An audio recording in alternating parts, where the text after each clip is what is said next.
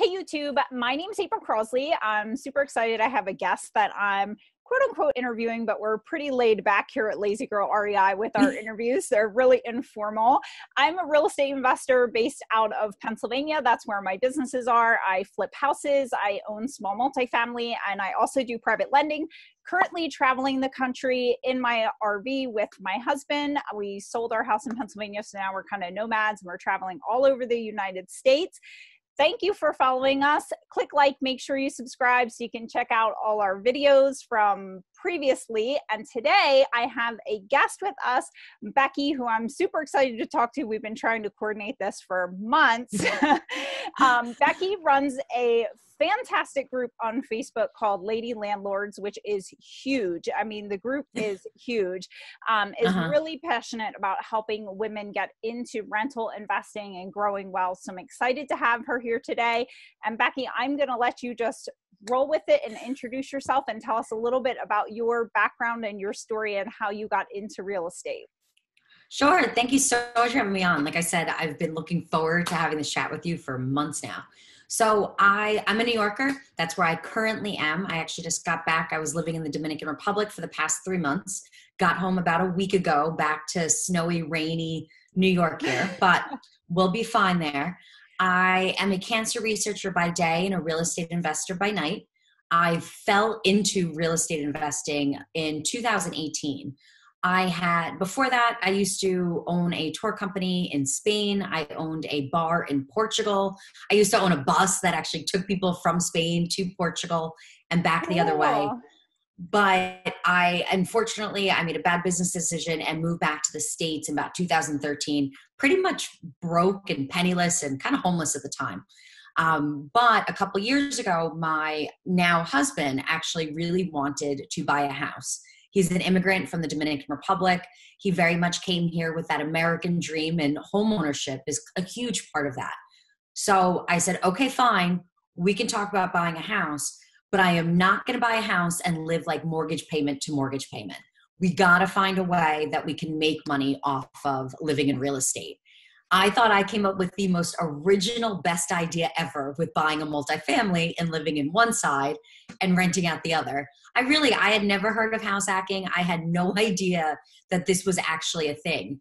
But once we closed and we got that money from the rental property on day one, I was hooked and I was like, that's it. We are doing this again. And so far in the past two years, we've been able to acquire 10 units within New York and then also the Dominican Republic. Nice. Cool. Cool. So uh, tell me um, a little bit about so your units are in New York and I have a lot of people that reach out to me from New York asking me to coach them and I'm like and I don't do a ton of coaching anymore at all and I'm, my response is always New York is a different monster. So let yeah. me find you a coach from New York. Things just run a little different up there. It's, yes. And I know it kind of varies depending where you're at in New York, but kind of what type of areas do you invest in or own your rentals in there? Because a lot of things people say are one, it's so expensive, and two, yes. they don't feel it's landlord friendly. So, talk a little bit about those hurdles because obviously you've overcome those. I mean, this is your home state and that's where you're buying. So, yeah, and I I get that same thing all the time. People think I'm crazy for investing in New York. I actually love it. And clearly there's so many other people that want to invest in New York and I don't think we should be held back by those things. So I actually invest in Yonkers and the Bronx. So for people that don't know New York so well, that's about 10 minutes outside of New York City. So literally I could walk to I could walk to New York City from where I currently live. We are an incredibly urban place. Yonkers itself is the fourth largest city in New York. It is exactly what you expect. You know, people walk everywhere. You don't need to drive. We have public transportation. That is, we are still in the very urban kind of area. We do also own one property about an hour north of here, um, kind of more of like your typical suburban type area. But still, when I usually tell the price on what we paid for that property, people are like, okay, New York is still overpriced. I think that's probably, I'll address the tenant issues first. So people always, New York, California are like top of the list when people think about places that aren't landlord friendly. It doesn't bother me. If we play within the rules that we're given and you know the game, it still works out. I don't think that they're like I definitely understand that it's that there's other states that would be more landlord friendly, but I don't think that New York is like against us. I don't think that they are I don't think that there's things like fine, there are probably some laws and regulations that I wish might be a little bit different that maybe I could take advantage of in a different way. But I don't think that there's anything there that I'm like, oh, that's so crazy, that's so illegal. They're like holding me back. It's mm-hmm. just these are what the rules are, and you have to play by them. So, and I, like I said, I don't think that there's anything there that makes my diff- my business difficult to run. I haven't. I don't feel that way. Um, price is definitely a thing. It is expensive here, and I do completely agree. Um, and I work with women that are looking to invest in New York, and it is coming up with a little bit of a different plan for them because prices are expensive. It's where house hacking might be the best kind of entryway point in. Sometimes you have to look at maybe doing a little bit more work than you had planned on. But what I like about New York is it might cost more, but I feel that you can find really good cash flow deals here. And my personal goal is to own the least amount of property for the most amount of money. Like so for that. me, New, right, I want the least amount of doors, the least amount of headaches with driveways and roofs and properties and tenants for the most amount of money. And honestly, New York has gotten me there much faster.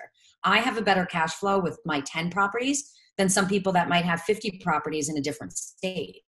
Yeah, I love that. And oh. people don't understand that. Someone just posted a question in a group this morning on Facebook and said, How many doors do I have to own for financial freedom? Because I know a guy that owns 30 and he's not financially free and he's miserable. And I'm like, I know people that own 10 and they're financially free. Yeah. I know people that own 600 units and they're drowning in personal debt and just keep syndicating just to like keep getting fees, cash flow, and just keep going and going and going. And like mm-hmm. you said, like if you own 10 properties that are like cream of the crop and they cash flow yeah. well for you and they don't have a lot of issues, then you don't need to own 20, 40, 60, 80, 150 exactly. properties like at all. don't get me wrong, real estate's addicting. Sometimes you want to keep buying, yes. but sometimes you're like, all right, I'm good. Like there is no magical number of doors. So I love that. I'm so happy you said that because that's one of the things that like drives me crazy that people ask all the time is like, oh, how many doors do I need to buy? Like, what's this magic number that then I'll just hit financial freedom? And I'm like, okay, well, April, you might be able to live off of $5,000 a month, but I might need $10,000 a month. Maybe I, right. you know, so how can you and I have that same number? And I think people get way so one our all of our situations are different. We all have different expenses, we all have different things going on in our lives that we need money for and what we want our lifestyle to look like regardless of actual bills. But I feel that people get so competitive about how many doors they have when it's like who cares? Who mm-hmm. cares if you have one or 10 if it still brings you an extra $500 a month? So it, I, I find that competitiveness of people not having enough doors Uh, just it makes no sense to me. We should be talking cash flow. How much cash flow do you have? And is that put you in the position of financial freedom or not? Right. Because same thing my cash flow and your cash flow for financial freedom are going to be incredibly different. So right. how close are we to our financial freedom is really what we should be our indicator of success not how many doors i own right drives yeah. me crazy I tell people like look at that what is your freedom number and then back into that freedom number. Yes. Like I need X amount of cash flow so if I'm buying in New York and I'm buying B class properties and they cash flow this much per door, this is how many I need to get to this yeah. freedom number. Like that's what you want to be figuring out. And you also have to be willing to kind of change things up or see how kind of things fit into the picture. So I'd mentioned I own one property upstate. It sounds really random. I always call that property my COVID baby because that I was not planning on buying a house in 2020. I actually like promised my husband we would not buy another house. like we like all agreed to it. We talked to our accountant and it was just like, okay, we're not buying a house in 2020. And then March hit and I was like, okay, world's upside down. None of us have any idea. No one. I work in the medical field and did not think that this would end up in the place that we were at. So then by like the end of April, May, I was just like, there's got to be a good opportunity here. Here we're in New York, everybody's looking for different space. Not everybody was buying at the time because it was still like two and upheaval. So I actually said, let's pick up a property eh, about an hour away. And I said I wanted something that it had to be um, turnkey. I wasn't doing work or putting up putting together a team an hour away. That sounds stupid to me. It needed to have tenants that were actually there and paying. I wanted to actually inherit tenants, which people thought I was crazy for saying during the moratorium, but that was a requirement. And it needed to be, and then once again, it had to be about an hour away so I could self manage it. So we have this, and we ended up finding the perfect property that fit what I was looking for. It doesn't fit into my portfolio and my model of what I was doing, but it made sense for the time. And it's one of our best cash flowing properties. It just fit with what we were looking for, but it was okay, we have to change kind of this. I like this urban four family.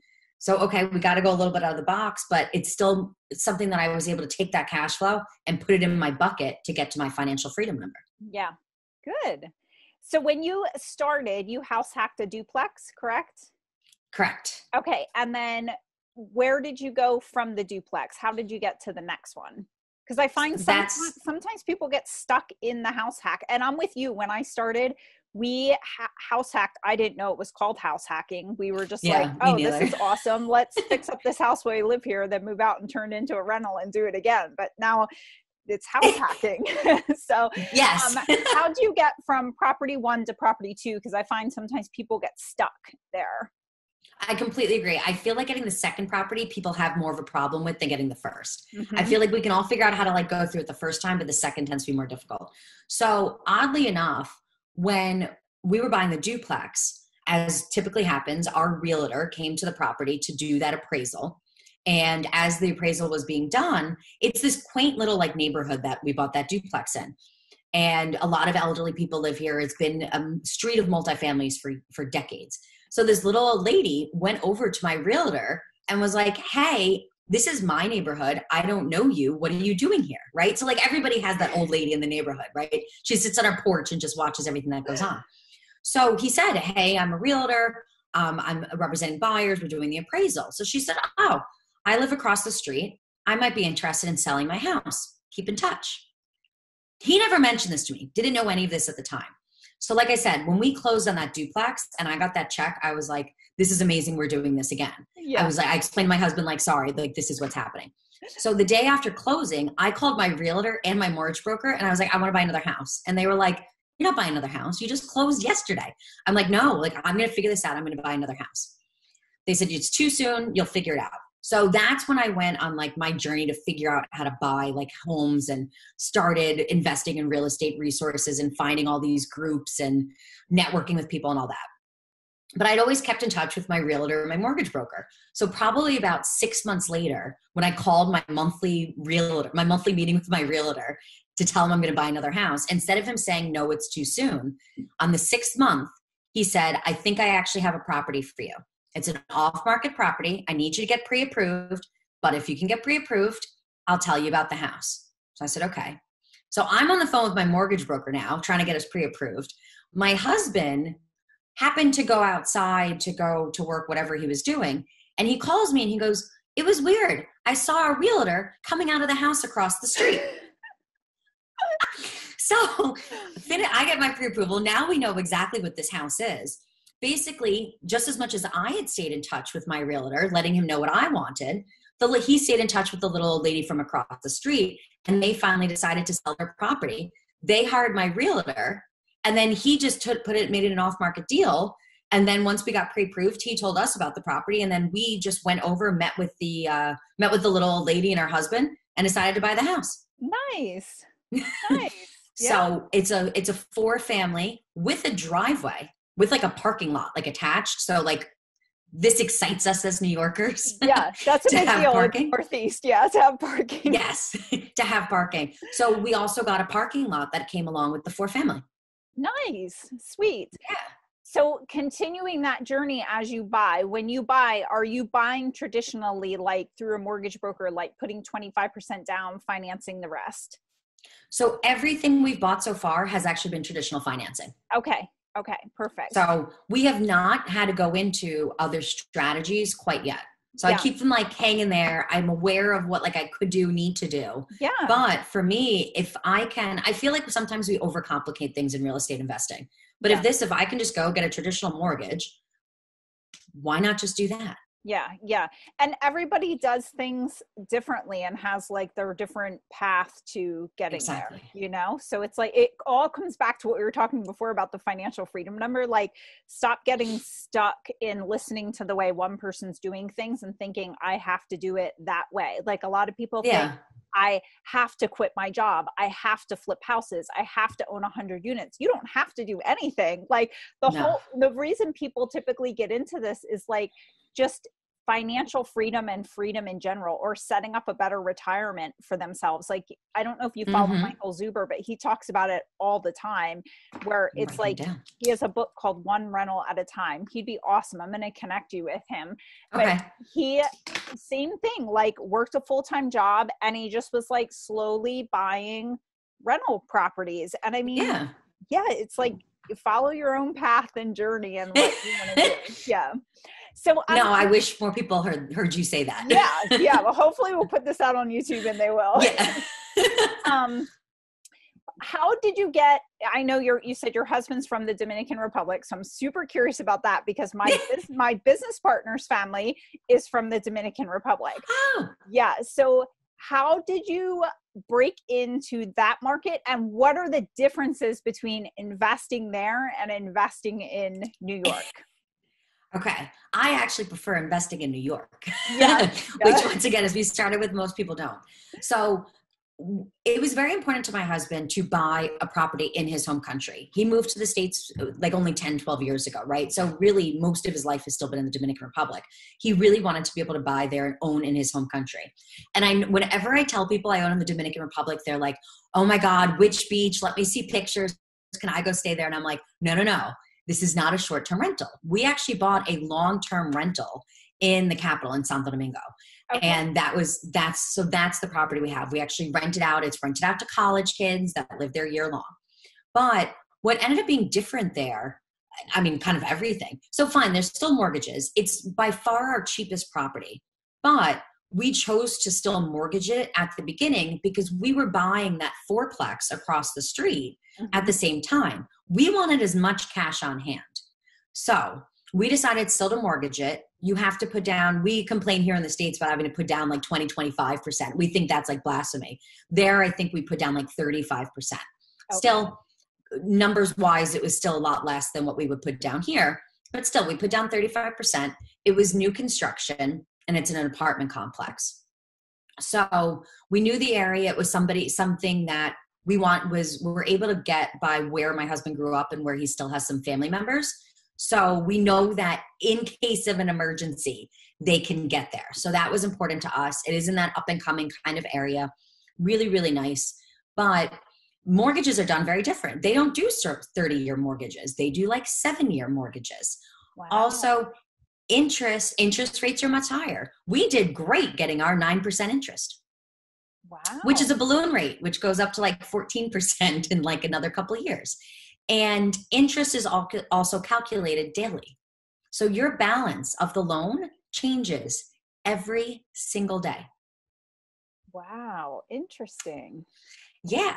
So, which apparently, so I speak some Spanish. My husband's clearly fluent. I speak some. Am I able to read these documents? No they're hard enough to read in english to read a, yeah. a lender's to read your own mortgage. I couldn't do that in spanish. So i actually wasn't aware of that daily increase every single day. So actually my husband and i once we caught on to that we actually ended up paying it off um, already. We paid that property off. But we had actually left it there for a while just because we wanted that cash on hand. We are still in acquisition phase for us once mm-hmm. again thinking about you as an individual so we actually, since we were able to still rent it out and get it to cash flow, and I mean cash flow like, you know, that like $9 a month with the conversion that we got was still perfectly worth it to us um, to be able to then keep the rest of our money on hand to go buy another property. We didn't care that it was our least cash flowing property. So that stuff was different. Um, you still can do the whole LLC. There are actually places in foreign countries where you can per, get a mortgage in another country as an American citizen. So we used my husband's, he is he's a dual citizen. So we used his residency to be able to do it. We clearly got more favorable terms, but that is still something that an American can do. now when we were down there for these past three months, now it was supposed to be my turn to get that beachfront property, to get that short term rental. And April, it did not work out as I thought. Yeah. what was interesting about the market now is prices there are still really high for beach properties. hmm I thought with COVID, I thought we'd go pick up a steal. I was like, there's no tourism, places are completely empty, all inclusive resorts just didn't even open this year. Wow. You know, no one's flying. There was a when we first got to the Dominican Republic in December, there was a curfew that you had to be home by noon. wow. By noon. Yeah. So you had to like get up, do your grocery shop, and hope you had food until the next day because otherwise you weren't supposed to be on the streets. Like that was it. So we thought we would be able to pick up a deal down there. Prices were still the same. They were still the same rates as pre COVID. There are still people buying properties down there, but they're buying their own personal second, third, fourth homes. hmm So they don't, and they don't want to rent it out. They're not looking to have, in the world of now germs here in a pandemic, they don't want anybody staying in their house. Mm-hmm. So it was interesting to see that these prices were still rather high, but there's no tourism. So for us to have bought a beach rental, we would not be making, we probably wouldn't be making any money. We would still be spending money on carrying costs for at least the next year, probably two years. Wow. Interesting. And so we were like, okay, if we were going to take $200,000 to go buy that beachfront property, I would rather use that, that money now in New York to buy, I can buy a million dollar asset for that $200,000 here, get it cash flowing on day one. Then in three years, take the profit from that and then go buy my beachfront property. Because why am I going to spend that same amount of money that I could use as a cash flowing asset to sit there and have to pay for it for an indefinite amount of period of time as of now? We have no idea when things are are changing or people will travel more or restrictions be lifted. So Right. it just didn't it made me so sad to leave there without a property, but it just did not make financial sense for us. right. For somebody else, maybe it does. Right. Yeah. Just a couple things I want to point out. Like you, sometimes people don't understand the amount of like research that goes into real estate investing. Like New York, you're familiar with, the Dominican, you're not. So people sometimes get super excited about like, oh, I want to buy a beachfront property and here's why. But clearly, based on everything you've said, like you did your research while you were there. Plus, you have some boots Yeah. on the ground because your husband has contacts and family there, which is awesome. Like for me, Yeah. we've been looking to buy out of state, just larger multifamily and things. But I people will come to me all the time and say, "Oh, I have this great mobile home park or this great multifamily here," and I'm like, "Who do you have as boots on the ground? Like, who do you know in that market that knows that market like the back of their hand?" There's a lot more research that goes into just financing in the market and everything. Then it's not as simple as like, "Oh, I'm just going to pick up this property because I have money or because I want it or whatever." Yeah. Well, I think two things. One, I think a lot of people are just like, ooh, I just want this, right? And I feel like right now, a lot of people, I'm picturing, do you remember that toy as like a kid, or maybe your son had it, where you had to put like the shape of like the star into like the star and then like mm-hmm. the ball that it kind of fits? Yeah. I feel, and like the circle's got to go in a circle. I feel like right now, investors are like just jamming that star into the circle, being like, this deal doesn't make sense, the numbers don't make sense, but I want this property. So I'm just going to manipulate it whatever I can. So I feel like we need to be careful about that because people are picking up properties that I think aren't necessarily in alignment with their goals that I think is going to come back and make it difficult. Then going back to other things that I feel like people, we've got to start like a series of like things that real estate investors say. Like we'll have to make like some skit or something like this. But like one of the other things I feel like I see all the time is like, hey, what's a good place to invest? And once again, what good means means the different things to different people. Mhm. But I agree, we should be looking for a place where we at least know someone, maybe a friend from back in college that we talk to once a year or see on Facebook. And you're like, oh, you know what? Mesa, Arizona. I want to invest there. I know April's in the area. At least in that way, she can tell me what the neighborhoods are like. So that way I know this neighborhood's good to buy in. This is a B, this is an A, this is a C. I have an emergency person, or even just a place that you like to personally go visit. Maybe I like to go to Fort Myers in Florida every year. So I have an idea of what that place is like. If we're going to just start picking places around the country to buy in, it should be a place where we at least know somebody that lives there. Yeah. why not make our lives a little bit easier? Yeah, agree. It's very helpful to have that. Very helpful. Yeah. um, so tell me about Lady Landlords. Why did you start it? What is what is it all about and where is it going? Sure. So Lady Landlords actually for me, I started the Facebook group just a little over a year ago now. And actually I started it at like the beginning of the quarantine really to help myself I had so many questions about landlording and how to how this problem pops up or this problem. And we've all been there when you have tenants and you're like do I do this? Do I do this? I needed people to talk to about it. And when we all got quarantined here in New York and trapped in our homes you know my tired my husband got a little tired of talking real estate with me. So I said fine let's go make some friends on the internet then. Yeah. so I knew that I wanted a group that would be directed towards women to help us to be able to find these rental properties and have a safe space for those conversations so I started Lady Landlords, really, like I said, to ask my own questions. And the group just completely blew up. I thought I was like the only one that would like be in my group. I thought it'd be like me, my mom, and like my best friend that I convinced to come join that has no interest in real estate. But since then, we have about a thousand women that come and join our group and our community every single month. Yeah. So from there, it's just kind of grown. It's really opened the doors into just so many different cool opportunities so now what we did is we put together resources that women in the group are asking for. So we have a beginner's course and an intermediate course about how to scale your properties. We do not only local but also virtual meetups um, to be able to educate and meet people and see what connections we can make. I also have what's called a roadmap a roadmap member, mentorship project where as we talked about people kind of come up with these stereotypical I need this amount of doors or what's a good investment. So what I do is I work with people on what are your specific goals? What do you actually have currently? And then I help show them how to kind of create that path to bridge those two things together. So it's just crazy what it's kind of turned into on, on the side of just helping other women be able to find the right resources to be able to get their own rental businesses up and going. Yeah. It's awesome. There's like over 10,000 members, I think, or something already. yep. Yeah. And we hit 10,000 in the first year yeah i and meanwhile great. still i i still look at it every month and i'm like I, I just did not know that there were all these other women out there that were struggling with the same questions that I had. Yeah, it's definitely meeting a need. It's awesome. It's really awesome. Thank you. Congrats to you on that, on the growth of that. it's been amazing to watch. Yeah. Yeah. Is there anything else you want people to know just about your journey or about their journey in general getting started? Yes get started. Yeah.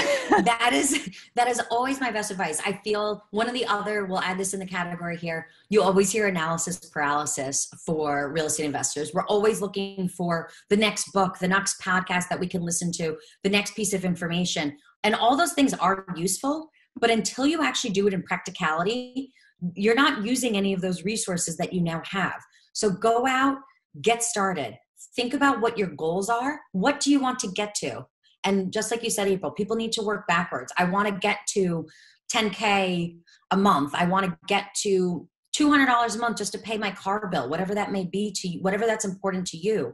But go figure out your path to that goal, work your way back, and then do it. Take the first steps and get out there and get your feet wet in real estate investing. And the ball just starts rolling from there yeah and you have whole like groups of community support now. It i mean like lady landlords and other groups just like you can hop in there and ask a million questions and when you're done with your analysis paralysis and burnout on your million questions that you keep asking you will finally just jump. But you really do just have to sit down and think about where you're trying to go and how many houses you have to buy or how many apartment buildings you have to buy to get there and just do it. You got to just do it. Yeah. it takes the hard stuff the instead of talking about it, it takes the research, it takes the nitty gritty, it takes talking to agents and brokers, and it's the not fun stuff that gets you there for sure. Yeah. And honestly, it, it, regardless of how much you research and plan, as you know, April, it's never going to go exactly as planned. There's always going to be something that's going to pop up.